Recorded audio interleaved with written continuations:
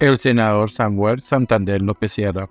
Lo llaman el hombre Malboro, Malboro Man, Santa, MacGyver, El Gordo y Marcos.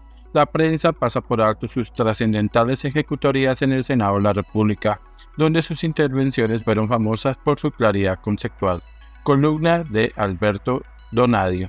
De manera profundamente injusta, que hiere las fibras más sensibles de nuestra democracia pluricentenaria, el honorable senador Samuel Santander López Sierra Gutiérrez es solo recordado en las noticias como un narcotraficante extraditado a los Estados Unidos, en cuyas prisiones pasó 19 años.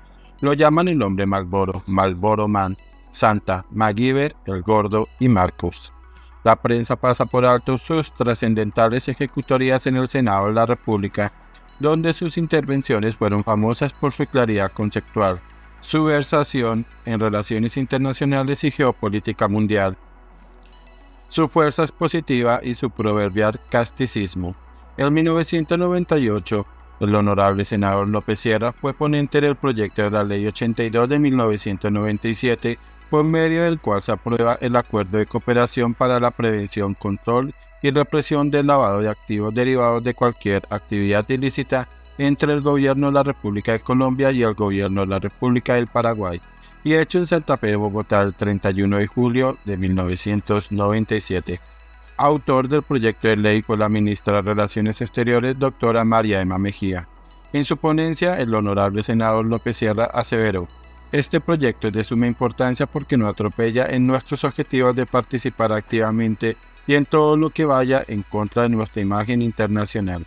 Considero yo que es de suma importancia darle el primer debate, ya que atenta y es una colaboración mutua entre ambos gobiernos. Considero yo que los artículos están bien desarrollados, especialmente cuando las actividades que se generan van a ser controladas por unas medidas de prevención que no atentan contra la integridad de otras personas, siempre y cuando puedan demostrar que los ingresos de algunos recursos puedan ser sustentados de ambas partes, a sección de algunas otras actividades ilícitas que puedan desarrollarse. Muchas gracias. En 1995 el honorable senador López Sierra firmó en el Senado, en el diario capitalino El Tiempo, fechado 23 de mayo de 1995, fue pública una información según la cual soy acusado por el comisario de la División de los Servicios de Inteligencia y Prevención DICIP de Venezuela, Eduardo Iglesias, por mi intervención en el Congreso de la República frente al tema de los vehículos venezolanos, objeto de la Comisión de Delitos de Robo, Hurto, Hurto Calificado y Secuestro en el territorio de ambos países, la cual pretendo clarificar así. Dos puntos. No he prestado ni modesto concurso como senador de la República de Colombia, ni he interactuado con persona alguna en procura de la legalización de los vehículos procedentes de la República de Venezuela.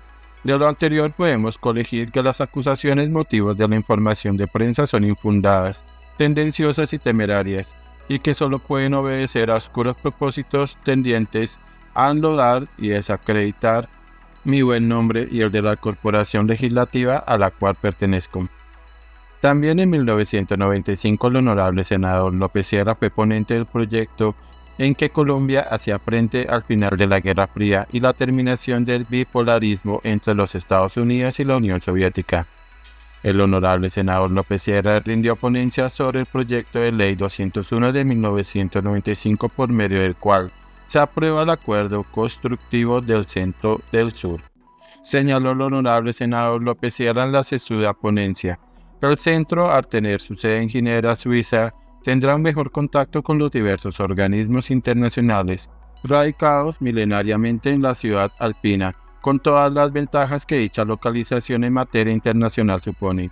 Su filosofía altruista será un punto de apoyo para conseguir fines de progreso con organismos gubernamentales y no gubernamentales. Los nueve miembros que integren su junta son garantía de trabajo, lo mismo que un amplio equilibrio geográfico representante de la amplia gama de diversidades. Como dijo el escritor argentino Borges, olvidad nuestras diferencias, acentuar nuestras afinidades.